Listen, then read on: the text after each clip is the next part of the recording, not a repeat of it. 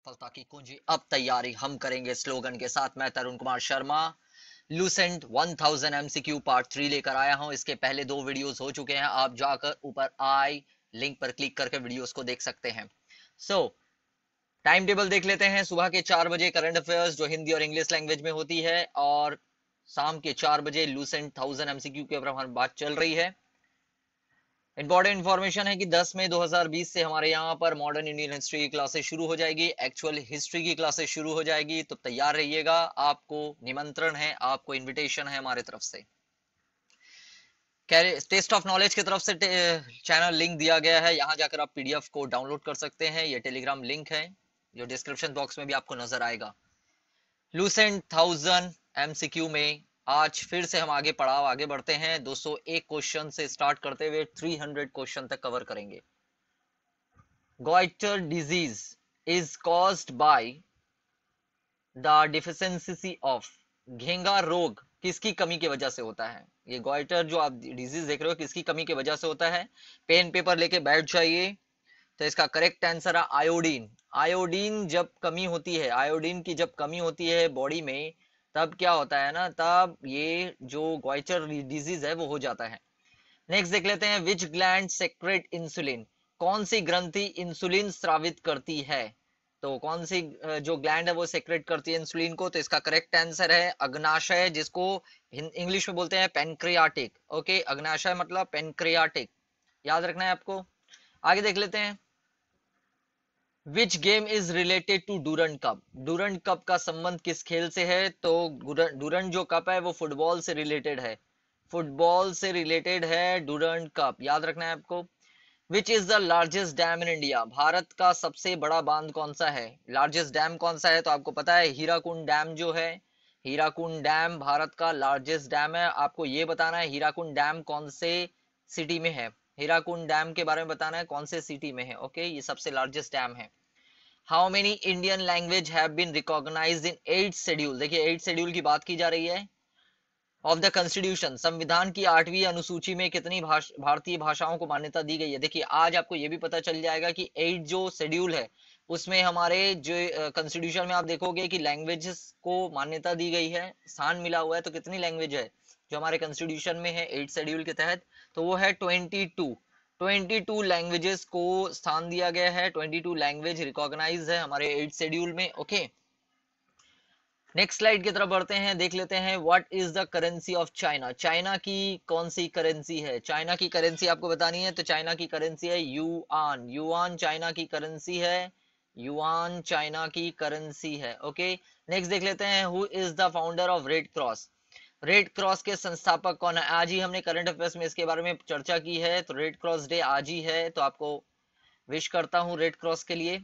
तो red Cross के founder कौन है? रेड क्रॉस के फाउंडर जो है, उनका नाम है Henry Dunant Henry Dunant okay Henry Dunant याद रखना है। हेनरी डुनांट आगे देख लेते हैं what is the disease caused by the haemoglobin deficiency haemoglobin की कमी के कमी से होने वाले रोग कौन सा है? अगर हीमोग्लोबिन बॉडी में कमी हो जाए तो कौन सी डिज़ीज़ आपको हो जाएगी? कौन सी बीमारी हो जाती है?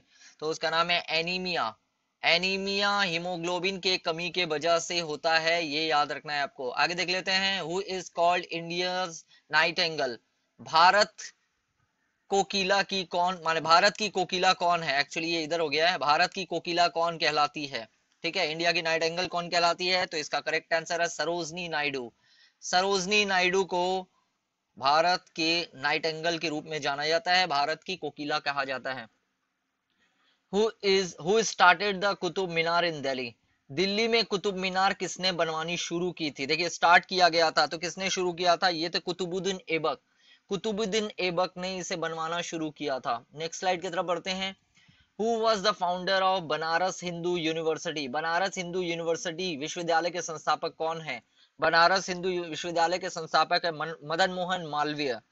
याद रखना है, मदन मोहन मालवीय बनारस हिंदू यूनिवर्सिटी जो हम देखते हैं, उसके फाउंडर हैं। आपको ये बताना है, ये कब स्टैब्लिश हुई थी? स्टैब्लिश में इंडिया जरा कमेंट में बताइए।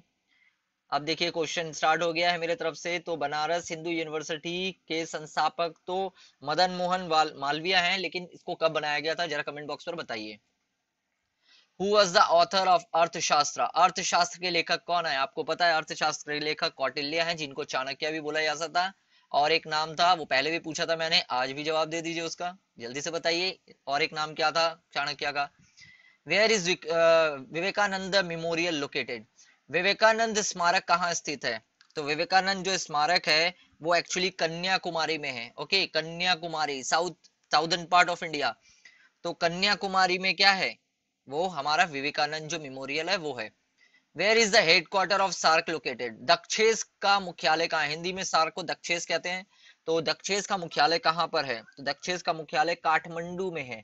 काठमंडू कहाँ है पता है आपको? नेपाल में। तो काठमंडू में है दक्षेस का, माने सार्क का headquarter how many members country are how many countries are members of SAARC Dakshes के कितने सदस्य देश हैं? तो आपको पता है कि इसके आस पड़ोस के ही देश होंगे।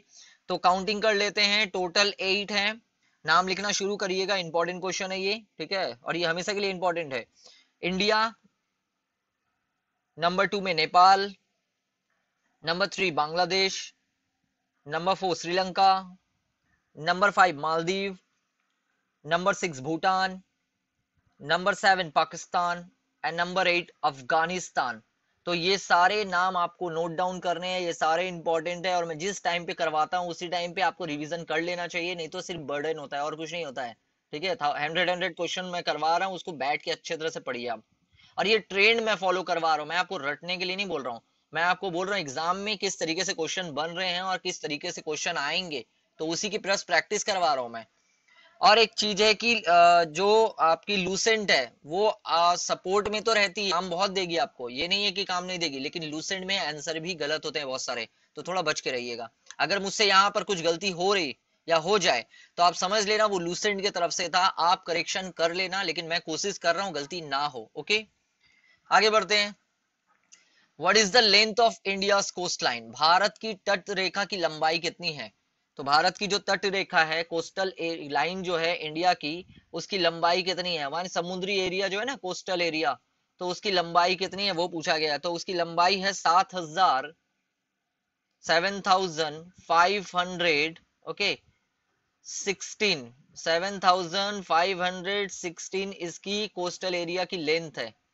कोस्टल एरिया मतलब ये समुद्री वाला एरिया ओके लैंड एरिया नहीं, समुद्री वाला एरिया ओके आगे बढ़ते हैं। Which country has the highest production of mica mica sorry mica in the world विश्व में अब्रक माइका को क्या बोलते हैं? अब्रक का सर्वाधिक उत्पादक किस देश में होता है? माने हमारे कौन से देश में सबसे ज़्यादा, पूरे वर्ल्ड की बात की जा रही है, सबसे ज़्यादा माइका का प्रोडक्शन होता है अब्रक का उत्पादन होता है। तो इसका करेक्ट आंसर है इंडिया इंडिया में सबसे ज़्यादा माइका का उत्पादन होता है अब्रक का उत्पादन होता है okay who build the grand trunk road grand trunk road किसने बनवाया था? तो ग्रैंड ट्रंक रोड को बनाने वाले थे शेर शाह सूरी। शेर शाह सूरी ने ग्रैंड ट्रंक को बनाया था और ये एक ऐसे सम्राट मान राजा बने थे, ऐसे बादशाह बने थे, जो उम्र जब इनकी हो गई थी काफ़ी, तब जाके ये राजा पद पर बैठे थे, तब ये जाके सम्राट बने थे okay which disease is cause by vitamin B deficiency vitamin B की कमी से कौन सा रोग होता है? जब विटामिन बी बॉडी में अगर कमी हो जाए तो उससे बेरी बेरी रोग होता है। ओके बेरी बेरी ओके आपको याद रखना है बेरी बेरी ठीक है? बेरी बेरी किस लिए होता है वो आप बताइएगा। ये क्या है एक्चुअली बेरी बेरी जरा मुझे हेल्प करिए। बेरी बेरी क्या है एक्चुअली बस आपको बताना है विटामिन बी की कमी की वजह से तो हो रहा है, लेकिन बेरी बेरी एक्चुअली होता क्या है? Which disease is cause by vitamin C deficiency vitamin C की कमी से कौन सी बीमारी होती है? विटामिन सी अगर बॉडी में कम हो जाए तो उससे स्कर्वी रोग होता है, स्कर्वी, ओके? स्कर्वी होता है, स्कर्वी, याद रखना है आपको, स्कर्वी। आगे देख लेते हैं which vitamin do not contain milk दूध में कौन सा विटामिन नहीं होता है? दूध में बहुत सारे विटामिन होते हैं, लेकिन कौन सा विटामिन नहीं होता है? तो दूध में जो होता है ना, वो कौन सा विटामिन नहीं होता है, ये पूछा गया है। तो विटामिन सी जो होता है, वो दूध में नहीं पाया जाता। आपको याद रखना विटामिन सी दूध में नहीं होता ओके तो कौन सी विटामिन नहीं होती है दूध में? वो विटामिन सी आगे देखते हैं। Which disease is caused by vitamin D deficiency vitamin D की कमी से कौन सा रोग होता है? जब विटामिन डी बॉडी में अगर कम हो जाए तो उससे कौन सा रोग होता है आपको पता है? और विटामिन डी सन से ज़्यादा मिलता है हमें तो उससे रिकेट्स हो जाते हैं। क्या होता है? विटामिन डी की कमी से रिकेट्स रोग होते हैं। Which vitamin deficiency does not cause blood clotting किस विटामिन की कमी से खून का थक्का नहीं जमता? कौन सी विटामिन है जिसकी वजह से जो ब्लड कोटिंग है वो नहीं जमती? ओके तो आपको आंसर दे रहा हूँ मैं तो है विटामिन के तो विटामिन के की कमी की वजह से क्या होता है ना? माने विटामिन के अगर बॉडी में कम हुआ तो ब्लड क्लोटिंग नहीं होगा।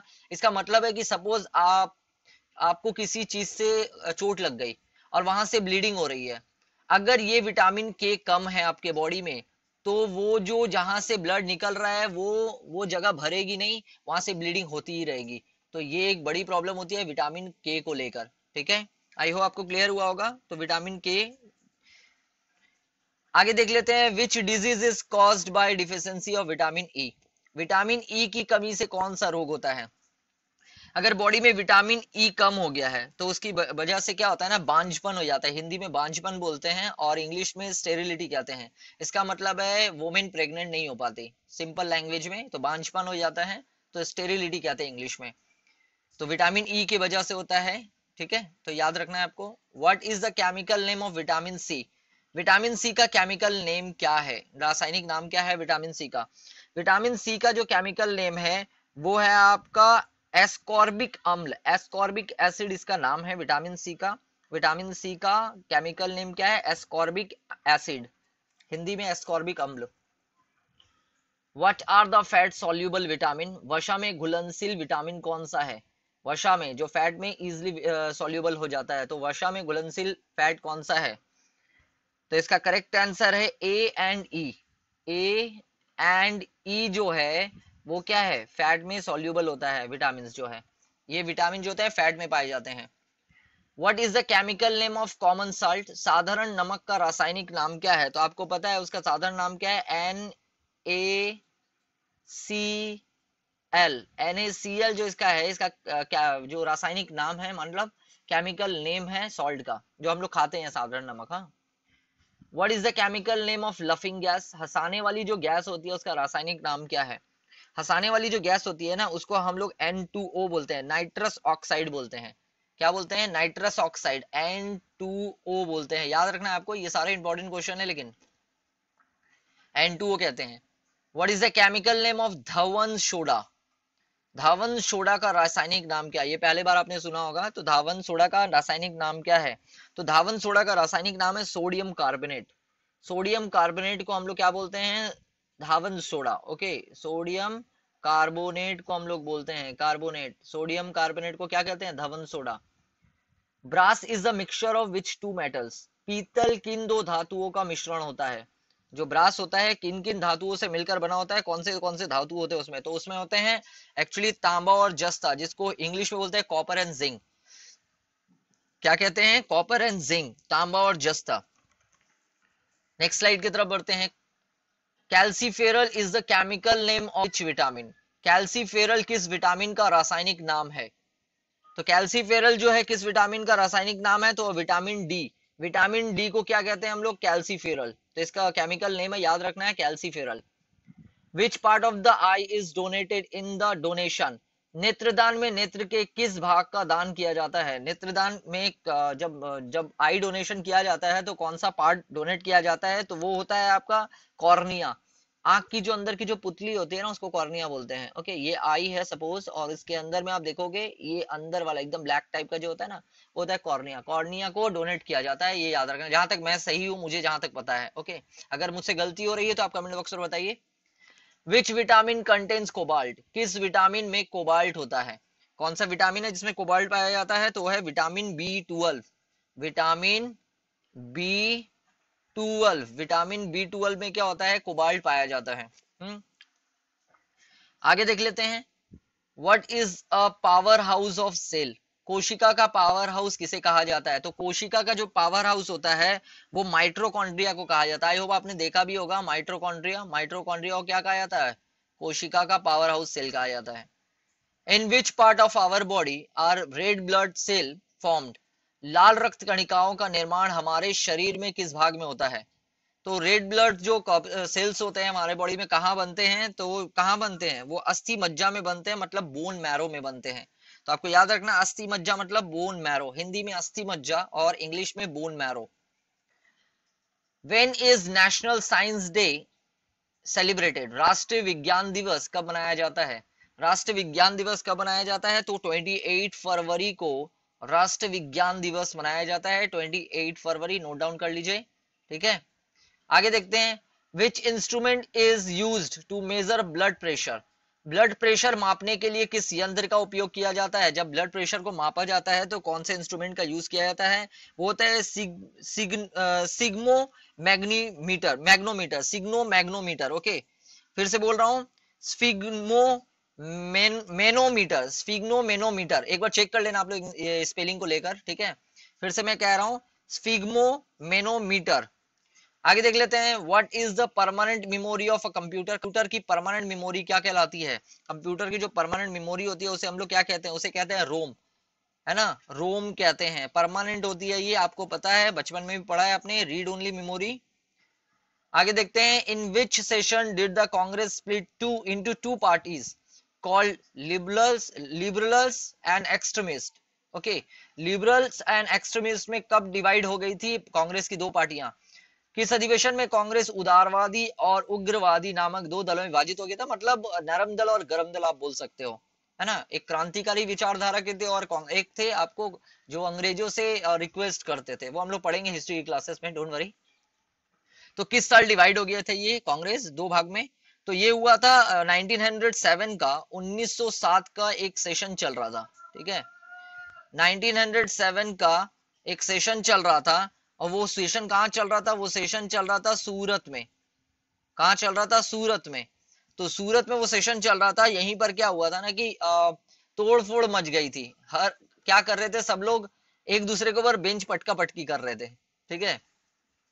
तो हु बिल्ड द और यहाँ पर क्या हुआ था ना कि कांग्रेस दो भाग में बढ़ गई, नरम दल और गरम दल। बाद में जाके यही उन्नीस में जाकर फिर म्यूचुअल हो जाते हैं इन दोनों के बीच में। फिर होम रूल लीग जो होता है, उसी के बारे में बात की गई। लखनऊ पैक्ट जिसको हम लोग कहते हैं। पढ़ेंगे हम लोग। Who build the Brihadeeswara temple in Tanjore Tanjore का बृदेश्वर मंदिर किसने बनवाया था? तो तंजोर में जो बृदेश्वर मंदिर है, जो आप देखते हैं तो वो बनाने वाले थे राज, राजा प्रथम। राज, राजा प्रथम, राज, राजा फ़र्स्ट जो चोल वंश के साम्राज्य के थे ओके तो राज, राजा प्रथम, चोल ओके आगे देख लेते हैं। Where was the Mughal emperor Akbar born Mughal बादशाह सम्राट अकबर का जन्म कहाँ हुआ था? जो मुगल बादशाह थे, मुगल सम्राट थे, उनका जन्म कहाँ हुआ था? उनका जन्म हुआ था अमरकोट। कहाँ हुआ था? अमरकोट में इनका जन्म था। अमर कोट अमरकोट में मुगल बादशाह का जन्म हुआ था। ठीक है? तो अमरकोट के जो दुर्ग था, अमरकोट का जो फोर्ट था, वहाँ पर हुआ था। ये याद रखना, अमरकोट के फोर्ट में। In which country was the 2014 football world cup held 2014 का फुटबॉल विश्व कप किस देश में आयोजित हुआ था? ओके तो कौन से देश में हुआ था? वो हुआ था ब्राज़ील में। तो ब्राज़ील में ये 2014 में फुटबॉल वर्ल्ड कप हुआ था। आपने देखा भी होगा, आपने एंजॉय भी किया होगा इस गेम को।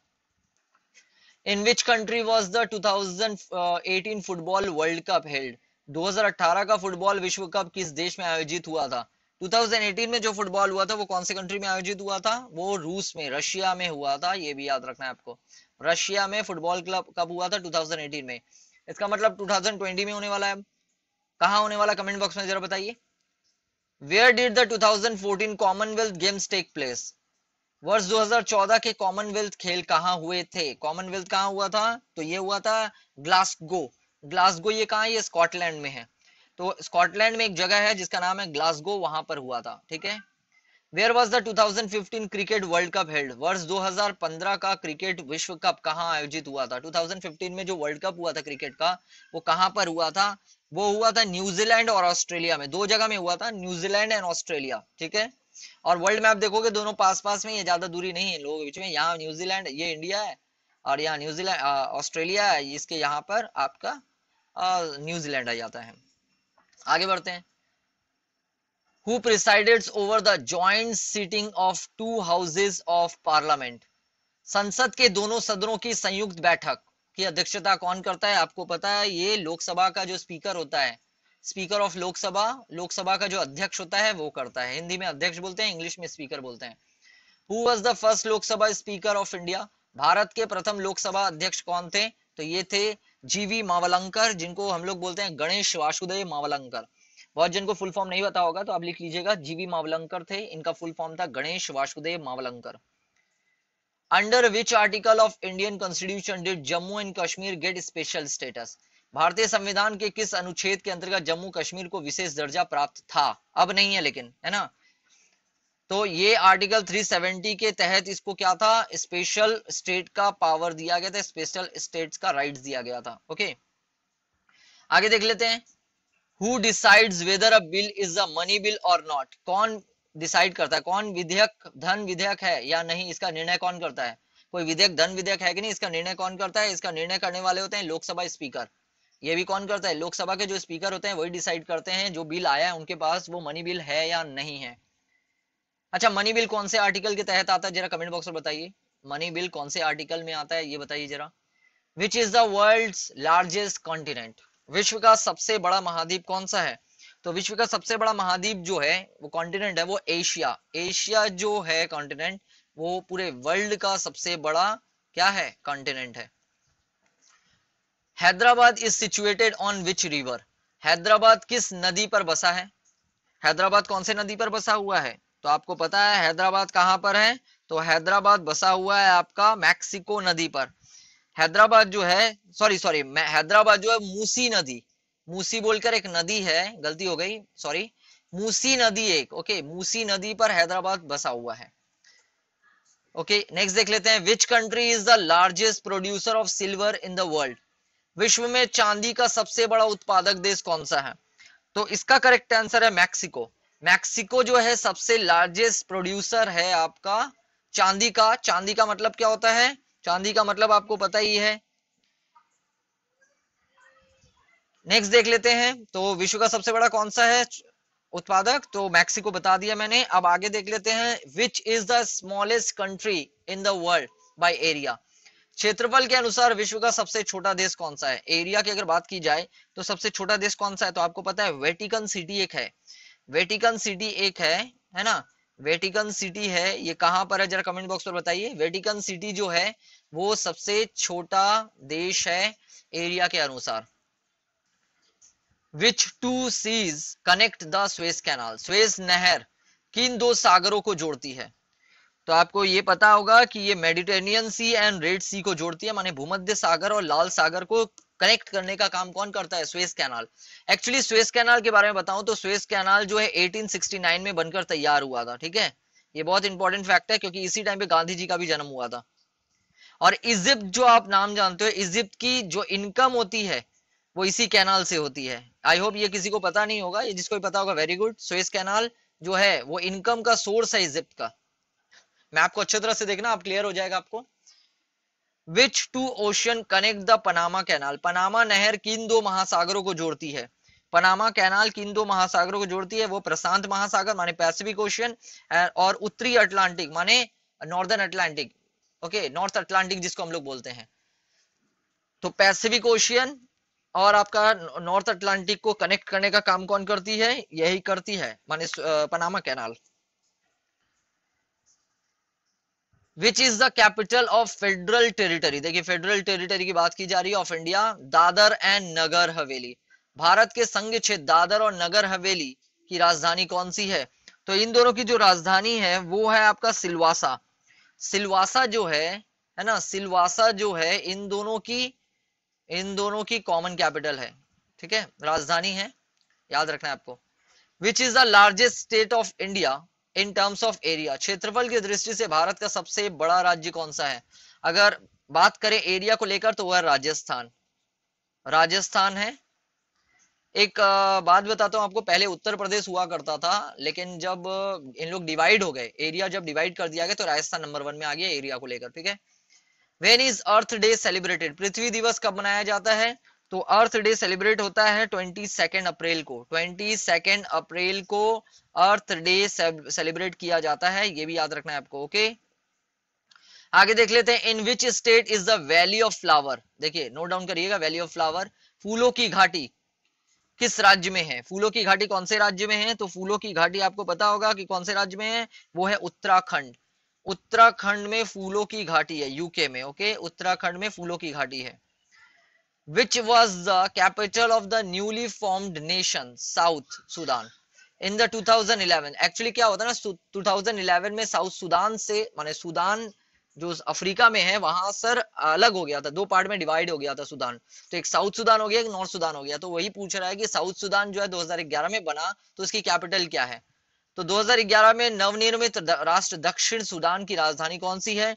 तो साउथ सुदान की जो राजधानी है, वो है जुबा क्या है? जूबा, याद रखना है, जूबा, ओके? जूबा जूबा इसकी राजधानी है। याद रहेगा आप लोगों को? जूबा? नहीं याद रहे तो अमिताभ बच्चन की मूवी देख लीजिए। अजूबा अजूबा आगे देखते हैं। Who is the chairman of planning commission योजना आयोग के अध्यक्ष कौन है? कौन होता है? योजना, देखिए, योजना आयोग तो खत्म हो गई है प्लानिंग कमीशन उसके जगह में नीति आयोग आ गई है है ना? नीति आयोग आ गई है। नीति आयोग का जरा फुल फॉर्म बताइए। नीति आयोग का फुल फॉर्म बताइए जरा कमेंट बॉक्स पर। तो देखिए प्लानिंग कमीशन तो खत्म हो गई है नीति आयोग आ गई है, लेकिन मैं कह रहा हूँ कि ये हम प्रैक्टिस कर रहे हैं लूसेंट की। और लूसेंट में अपडेट बहुत धीरे धीरे होता है। तो मैं उस समय के क्वेश्चंस को भी कवर कर रहा हूँ तो बस आपको ये याद रखना है, इसको, इसके अध्यक्ष कौन होते थे? तो इसके अध्यक्ष होते थे प्राइम मिनिस्टर प्रधानमंत्री जो होते हैं, इसके अध्यक्ष हुआ करते हैं। Who was the author of Ain-e Akbari Ain-e Akbari के जो ऑथर है, वो कौन है? आईने अकबरी का लेखक कौन है? तो आईने अकबरी का जो लेखक है, वो अबुल फजल है। क्या है? अबुल फजल। अबुल फजल जो है, वो आईने अकबरी के लेखक है okay with which sports is the Hopman Cup related Hopman Cup किस खेल से संबंधित है? तो होपमैन कप जो है, वो आपका टेनिस से रिलेटेड है। किससे? टेनिस से रिलेटेड है। टेनिस से रिलेटेड है। Who is known as the Deshbandhu? Deshbandhu के नाम से कौन जाने जाते हैं? तो देशबंधु के नाम से जानने वाले हैं, उनको बोलते हैं चितरंजन दास। चितरंजन दास को देशबंधु के नाम से जानते हैं। How many spokes are there in the Ashoka chakra ये सबको पता है कि 24 स्पोक्स हैं। ये पहले भी बात कर चुका हूँ तो 24 स्पोक्स है इंडियन पॉलिटी मैंने अच्छे तरह से डिस्कस किया है। आगे देख लेते हैं which film become the first in India Bharat में सबसे पहली, देखिए पहले आ गया ना फिर, पहली फ़िल्म कौन सी बनी है? सबसे पहली फ़िल्म जो थी, आपको याद होगा, राजा हरिश्चंद्र। राजा हरिश्चंद्र ओके राजा हरिश्चंद्र पहली फ़िल्म थी। और सबसे पहले बोलने वाली फ़िल्म कौन सी थी? उसका नाम था आलम आरा तो आलम आरा भी याद रख लेना, बोलने वाली फ़िल्म कौन सी थी? आलम आरा और लेकिन सबसे पहली फ़िल्म की बात की जाए तो ये ही थी राजा हरिश्चंद्र ओके? अगर यहाँ में बोलने वाली लिख देता है तो वो हो जाती Alam Ara what is the smallest bone सबसे छोटी हड्डी कौन सी होती है? सबसे छोटी हड्डी कौन सी होती है पता है आपको? तो वो होती है स्टेपीज। स्टेपीज जो होती है वो सबसे छोटी हड्डी होती है बॉडी के, सबसे छोटी बोन होती है, ये कहाँ होती है, जरा बताइए। What is the largest bone सबसे बड़ी हड्डी कौन सी होती है? तो सबसे बड़ी हड्डी जो होती है, उसको फीमर बोलते हैं। क्या बोलते हैं? फीमर नॉट फीवर फीमर ये जांग जो होता है ना, उसकी हड्डी होती है। थाई लेवल को आप बोल सकते हो, जांग जो होता है, उसकी हड्डी होती है। उसी को हम लोग क्या बोलते हैं? फीमर भी बोलते हैं।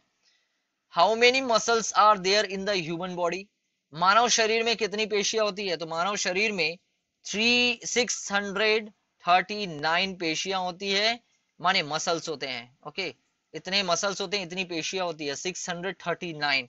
याद रखना है? आगे देख लेते हैं what is the life time of red blood corpuscle लाल रक्त कणिकाओं का जीवन काल कितना है? रेड ब्लड माने आरबीसी का जीवन काल लाइफ टाइम लाइफ कितना है? तो वह है 120 दिनों का, ये बचपन से हम लोग पढ़ते हुए आ रहे हैं।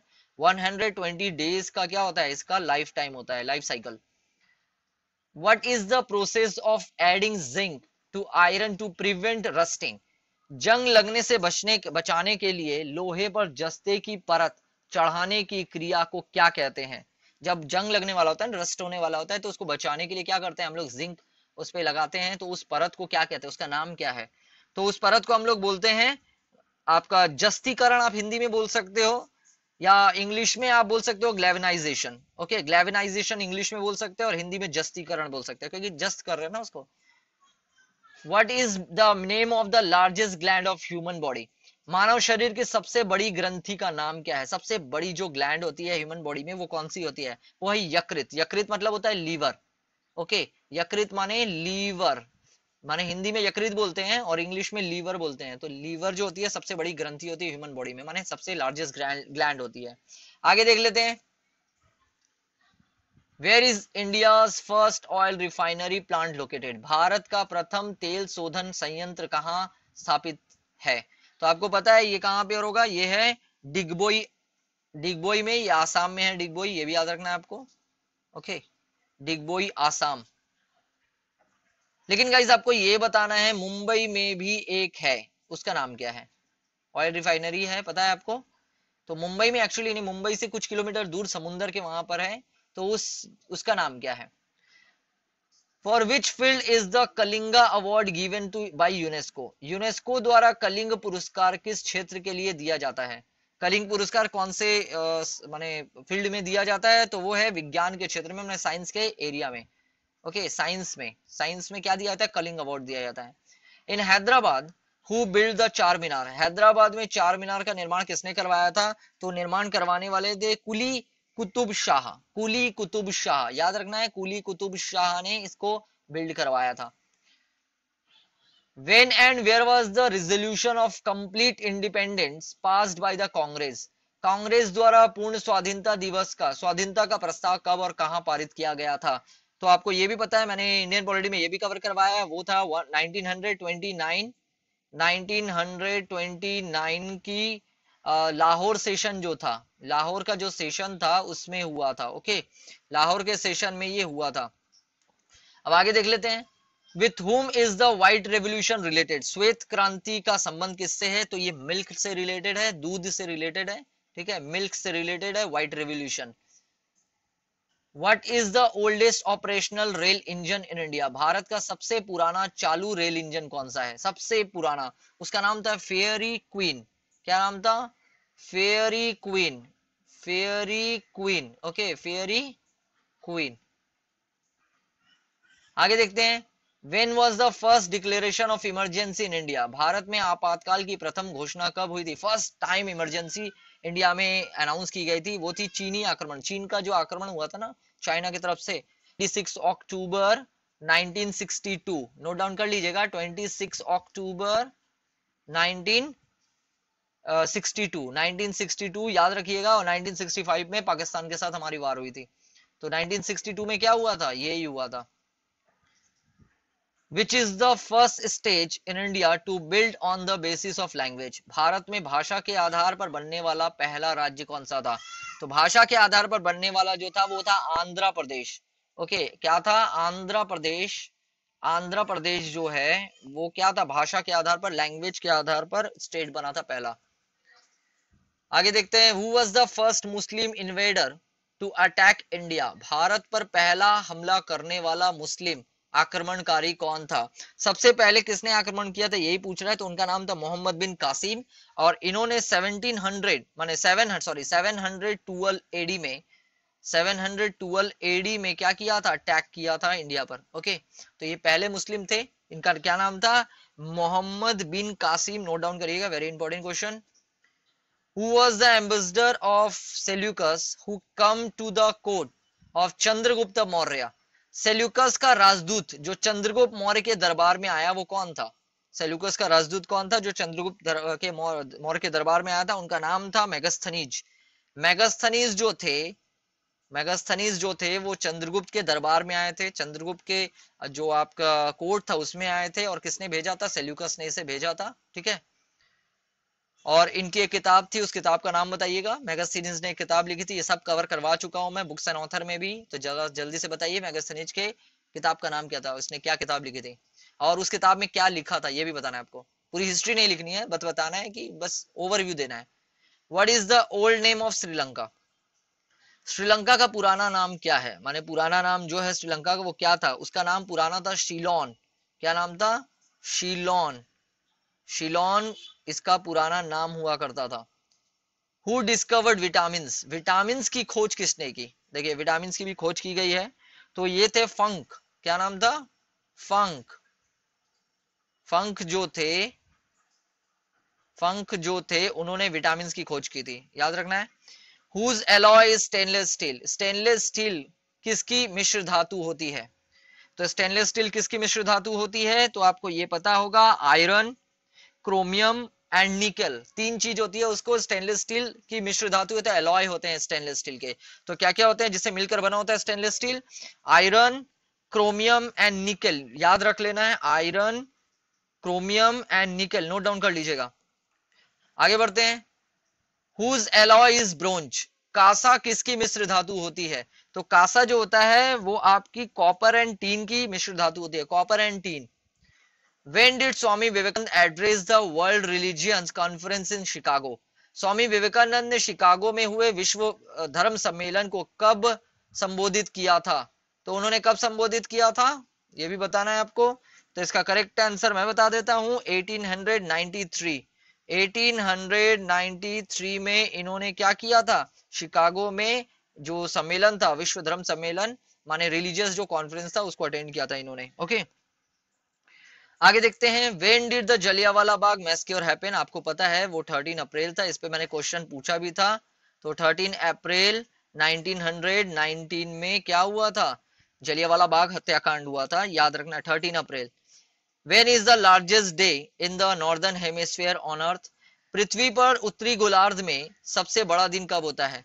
सबसे बड़ा दिन मतलब पूरा दिन, ज़्यादा दिन, बड़ा होता है, ज़्यादा घंटे का होता है और रात छोटी होती है ओके तो ये है 21 जून 21 जून को क्या होता है ना कि दिन सबसे बड़ा होता है और रातें सबसे छोटी होती है। 21 जून को क्या होता है? दिन सबसे बड़ा होता है, इसीलिए हम लोग क्या करते हैं? योगा डे मनाते हैं। तो इसका बैकग्राउंड भी समझ में आ गया, योगा डे क्यों मनाया जाता है? क्योंकि सन रेज डायरेक्ट आती है यहाँ पर ओके सन रेज डायरेक्ट मिलती है, इसीलिए योगा डे सेलिब्रेट किया जाता है। वेन डिड महात्मा का बुद्ध अच्छा ये बताना है कि साउदर्न हेमिस्फेयर में तो नॉर्दर्न हेमिस्फेयर की बात कर रहा है साउदर्न हेमिस्फेयर में सबसे बड़ा दिन कब होता है? कमेंट बॉक्स पर जरा बताइए साउदर्न हेमिस्फेयर में। ज्योग्राफी करूँगा तब बताऊँगा मैं पूरा डिटेल में। लेकिन अभी आपको बताना है ओके आपको मेरी मदद करनी है। आप अपनी मदद नहीं कर रहे, आप मेरी मदद कर रहे हैं, समझ लीजिए। तो आप इतना तो कर ही सकते हैं, मेरी मदद। Where did Mahatma Gandhi Buddha give his first sermon Mahatma Buddha ने अपना पहला उपदेश कहाँ दिया था? तो आपको पता है, वो पहला उपदेश देने वाले थे सारनाथ में। महात्मा बुद्ध ने अपना पहला उपदेश कहाँ दिया था? सारनाथ में दिया था। है ना? सारनाथ में।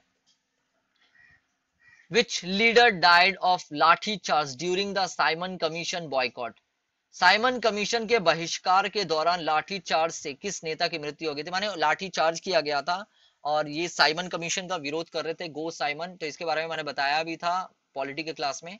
तो इसका करेक्ट आंसर है लाला लाजपत राय और लाला लाजपत राय क्या करते हैं? लाठी चार्ज की वजह से डेट कर जाते हैं, मर जाते हैं और जिसकी वजह से क्या होता है? भगत सिंह, सुखदेव और राजगुरु उसका बदला लेते हैं, ठीक है? अच्छा किससे बदला लेते हैं, जरा बताइएगा तो? What is the name of the first computer manufacture in India Bharat में निर्मित प्रथम कंप्यूटर का क्या नाम है? फ़र्स्ट कंप्यूटर जो इंडिया में बना था, उसका क्या नाम है? पहला कंप्यूटर देख लीजिए, बहुत इंपॉर्टेंट है। उस कंप्यूटर का नाम था सिद्धार्थ। क्या नाम था? सिद्धार्थ पहला कंप्यूटर था जिसको बनाया गया था इंडिया में। अच्छा पहले सुपर कंप्यूटर का क्या नाम था? जरा बताइए तो। ये तो पहला कंप्यूटर में पूछ लिया, सिद्धार्थ। लेकिन पहले सुपर कंप्यूटर का क्या नाम था?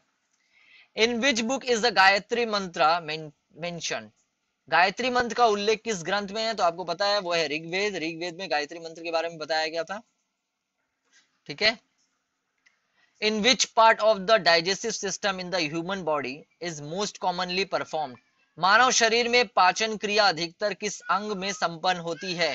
तो डाइजेस्टिव सिस्टम ज़्यादातर अधिकतर कौन से जगह में होती है? तो आपको ये पता होगा। तो वो है एक्चुअली आपका जो आ, माने हम लोग क्या बोल सकते हैं, जो छोटी आंत जिसको हम लोग बोलते हैं, ओके? स्मॉल इंस्टेटाइन हम लोग जिसको बोलते हैं तो वहाँ पर क्या होती है ना कि छोटी आंत स्मॉल इंस्टेटाइन में पाचन जो होती है ज़्यादातर डाइजेशन कंप्लीट हो जाता है। Who propounded the law of heredity अनुवांशिकता के नियमों का प्रतिपादन किसने किया था? लॉ ऑफ़ हेरिडिटी तो आपको ये पता होगा, इसका नाम है ग्रेगोर मेंडल। ग्रेगोर मेंडल जो थे, इन्होंने ये क्या किया था? अनुवांशिकता माने लॉ ऑफ़ हेरिडिटी का प्रपंड किया था। ठीक है? तो नियम प्रतिपादन किसने किया था? अनुवांशिकता का। तो उसका नाम था ग्रेगोर मेंडल। जो नाइन क्लास के बुक्स में भी आप देखते होंगे। आगे बढ़ते हैं और लास्ट स्लाइड देख लेते हैं आज की। Which metal was first use by human मानव द्वारा सबसे पहले किस धातु का प्रयोग किया गया था? सबसे पहला। इस पे बात कर चुके हम लोग। वो था तांबा। तांबा को हम लोग क्या बोलते हैं? कॉपर सबसे पहले कॉपर यूज़ किया गया था, है ना? कॉपर का यूज़ सबसे पहले किया गया था। अच्छा ये बताइएगा, जो द्वारा तो फ़र्स्ट यूज़ किया गया था कॉपर लेकिन हरप्पा सिविलाइजेशन एक ऐसा दौर था, हरप्पा युग, उस समय उन लोग कौन से जो मेटल थे, उससे परिचित नहीं थे अननोन थे, उन लोग जानते ही नहीं थे उस मेटल के बारे में। कमेंट बॉक्स में बताइए। On what principle does the ball pen work ball pen किस सिद्धांत पर काम करता है? जो हम लोग पेन यूज़ करते हैं ना बॉल पेन तो वो कौन से सिद्धांत पर काम करता है, वही पूछ रहा है। तो इसका करेक्ट आंसर है सरफेस टेंशन माने पृष्ठीय तनाव से काम करता है. सरफेस टेंशन माने जब हम लोग टच करते हैं ना सरफेस पर तो ही वो काम करता है. हवा में थोड़ी काम करेगा. तो उसी प्रिंसिपल से काम करता है. आप टच करेंगे, जब लिखना शुरू करेंगे, माने मूवमेंट्स करेंगे, तभी होगा वो भी टच करके. Silk worm are reared on soft sleeve of which tree रेशम के कीड़े किस वृक्ष की कोमल पत्तियों पर पाले जाते हैं? रेशम कीट कहाँ पाले जाते हैं? तो आपको ये पता होगा, सहतूत एक पेड़ होता है। सहतूत पर, सहतूत का जो वृक्ष होता है, ओके, सहतूत का वृक्ष, उस पर क्या होता है ना कि ये जो सिल्क वॉर्म होते हैं, रेशम के जो कीड़े होते हैं, वो पाले जाते हैं। और आपको ये पता होगा, उनके लार्वा से ये बनता है रेशम। What is Khetri famous for in Rajasthan Rajasthan में खेतड़ी, याद रखना है, खेतड़ी, ओके, खेतड़ी। किसके लिए प्रसिद्ध है? तो खेतड़ी क्यों फ़ेमस है? खेतड़ी क्या है ना, वह तांबे की खान है। तांबे मतलब वहाँ कॉपर की जो माइन है ना कॉपर माइन आप बोल सकते हो, वहाँ पे तांबे की खान माने कॉपर माइन है राजस्थान के खेतड़ी में, इसीलिए फ़ेमस है ये। Which is the nearest planet to the earth पृथ्वी के सबसे नज़दीक ग्रह कौन सा है? तो ये आपको पता होगा, सबसे छोटा कौन सा है, माने सबसे नज़दीक कौन सा है? वो है मरकरी, उसके बाद है वीनस। और वीनस के बाद है अर्थ। अर्थ के बाद है आप बताइएगा कमेंट बॉक्स पर कौन है, क्योंकि मैं ज्योग्राफी में बताऊँगा। तो ये जो है अर्थ के सबसे नज़दीक में वीनस आ जाता है, ठीक है? अर्थ के पास में कौन आता है? वीनस ये क्रोनिक ये जो आपका जो सीरीज़ है, वो आपको याद करना है। अच्छे तरह से फॉलो करिएगा इस सीरीज़ को, किसके बाद कौन है, ठीक है?